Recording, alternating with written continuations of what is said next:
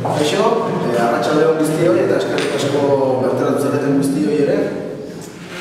Hemen elkartu bera gaurkoan berriro ere erakusketa berri baten inaugurazioan. E, ikusiko dezuen bezala, ez da ohiko inaugurazioa, atzean ez dugu artista bakarra, gongoaz artista, artista bakarra. Jende asko zinguratuta dator lau. E, inauguratzen dugun erakusketa honetan, urretxuko arte derretako ikasleen artelanak izango dira ikusgai.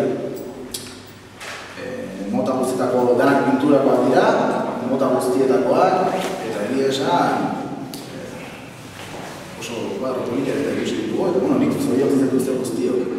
Eta ipatu ere, urretxuko udalarentzako oso garrantzitsua dela parte hartzea, herritarre parte hartzea, honekin ematen bai diogu e, herriari. Eta, bueno, ba, besterik gabe, eh, animatu herritar guztiak, egun hauetan engotatxo bat ematera, eta, bueno, ikustera benetan ze, zen, zen olako maila dagoen, dagoen herrian.